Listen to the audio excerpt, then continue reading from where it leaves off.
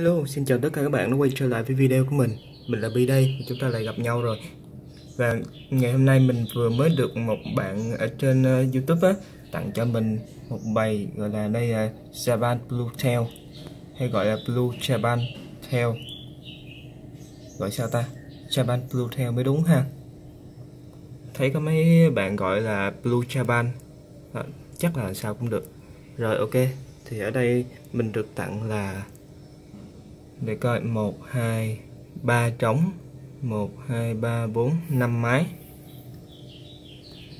còn trống nó chui đây nè. Đó.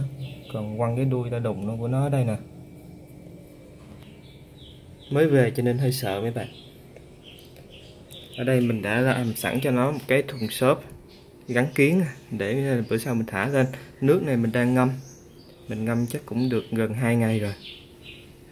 Đó đây đây thùng xốp, mình chưa có chét xi măng đâu, tại vì mình lười chét xi măng lắm. Dơ dơ tay chứ không phải dơ thùng. Ở đây mình đã cắt một cái miếng kiến mỏng nè. Mình dán mình dán ở hai đầu. Đó. thì ở đây mình có thể ngắm cá được, giống như hồ kiến.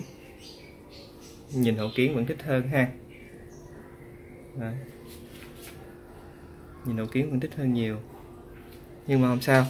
Chúng ta có thùng xốp rộng rồi ờ, gắn kiến như vậy nhìn cũng khá là đẹp rồi. Đó rất là thú vị. Rồi đây để mình ờ, cho tụi nó ăn thử coi. Tụi nó có lên không? Rồi ăn mấy con.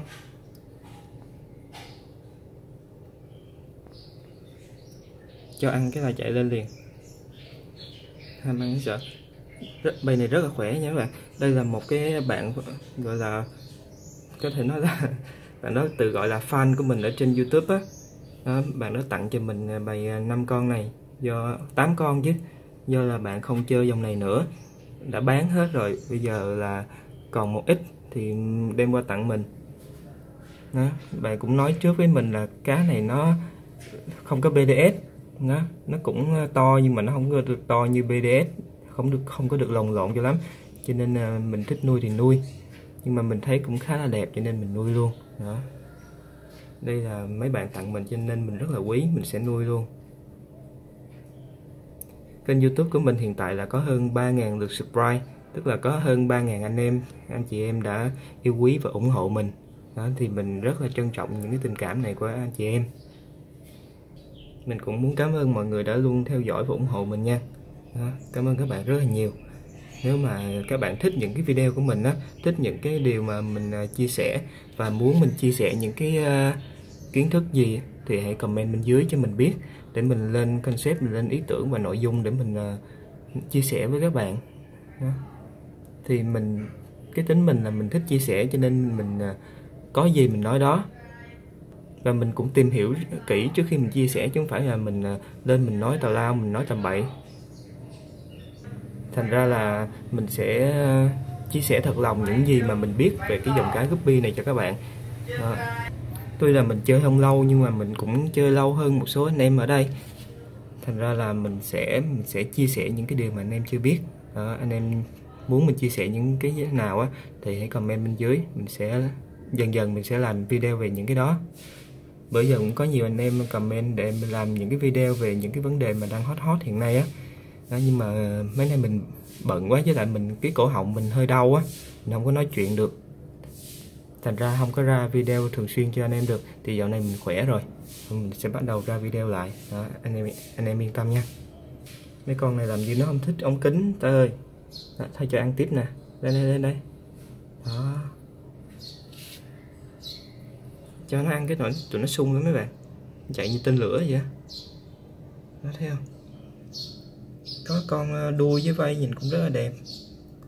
Hai con trống này còn nhỏ nè. Con trống kia thì lớn rồi. Hai con trống còn nhỏ đây không biết là bữa sau cái ờ, vây lưng nó có to lên không? To lên thì chắc là đã nha.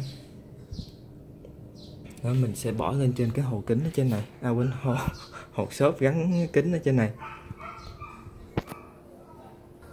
Nước mình ngâm thì mình có bỏ luôn cả nhâm thạch ở trong đây. Đó, các bạn thấy không? Nhâm thạch. Và mình bỏ luôn cả rong với bèo nữa. Các bạn nên nên ờ, bỏ rong, bèo và nhâm thạch vô khi ngâm nước nha. Để cho chúng ta bắt đầu tạo một cái hệ vi sinh mới luôn. Với lại rong á, các bạn nhìn thấy cái rễ của rong nè, nó sẽ giúp cân bằng lại cái lượng nước của chúng ta. Độc tố này nọ nó sẽ cân bằng được. Các bạn bỏ càng nhiều càng tốt nha. Ở đây mình không có nhiều, nhưng bỏ vừa vừa thôi. Ít chứ không phải vừa nữa. Đó tụi nó ăn xong, tụi nó đi trốn tiếp rồi nè. Các bạn thấy không? Lên đi mấy con. Cái dòng cá này thì chúng ta xem side view, tức là xem ở trên hồ kính á, nó sẽ đẹp hơn. Còn mình ở đây mình đang quay top view. Top view thì nhìn nó không có đã. Tại vì chủ yếu chúng ta nhìn vào cái à, đuôi của nó nó to và nó lấp lánh. Thành ra là nhìn ở trên top view sẽ không thấy được cái, hoàn toàn cái được, những cái đuôi của nó. À rồi khi mà cái ờ, hồ hồ mình ngâm nước xong rồi á mình sẽ đem cá lên trên cho các bạn xem nha. Đó. rồi cảm ơn các bạn đã theo dõi video này của mình. À, mình ờ, rất cảm ơn bạn Minh Anh đã tặng cho mình cái dòng cá này. Cảm ơn anh chị em đã luôn ủng hộ mình. Hẹn gặp lại các bạn ở video tiếp theo nha. Tạm biệt các bạn.